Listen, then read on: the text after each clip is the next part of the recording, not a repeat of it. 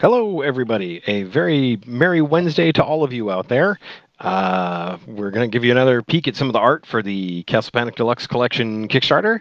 And if you're familiar with Castle Panic at all, you know that there is one card out there, one thing you're going to be reaching for when the chips are down, when everything is desperate and it's the darkest hour. What do you need to save the day? Say it with me, everybody. Barbarian. That's right, it's the Barbarian. So, what you're looking at is the progression of the Barbarian for the new game. Uh, we started out with this beast of a guy. Tad did a great job giving us this hulking sort of guy, but he was definitely a little too lethargic. We wanted more energy in him, so we asked him to go back, do some more revisions.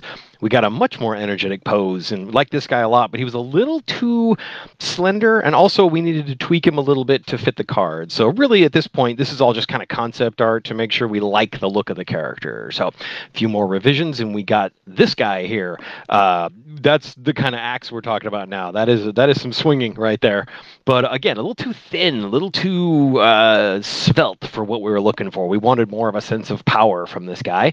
So got this pose, and now we're getting a lot closer. He's got the big beefy sword, those uh, hilariously classic uh, uh, uh shoes, boots. I love this design of boot. It's so classic, Captain America style, and uh, he's getting a bit more energy to him. So then we said, okay, let's go back and look at one more thing, taking that design, pushing forward. And this is where we ended up really loving what we got uh, for a couple of reasons. One, he's got the energy, he's jumping, he's got the dramatic hair flow, of course, um, and it fits the card layout we were going to need too. So this was the design that we said, yes, let's go with this guy.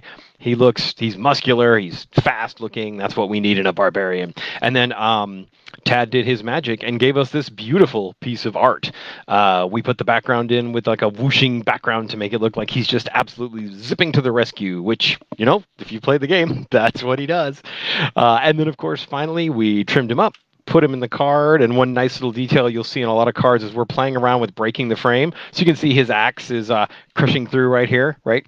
Chopping into his own title. Very good. Lots of fun.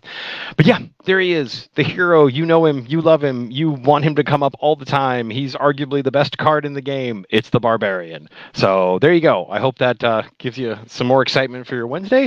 Uh, I'll be back again with more tomorrow. Y'all take care. Be good to each other. And happy gaming as always.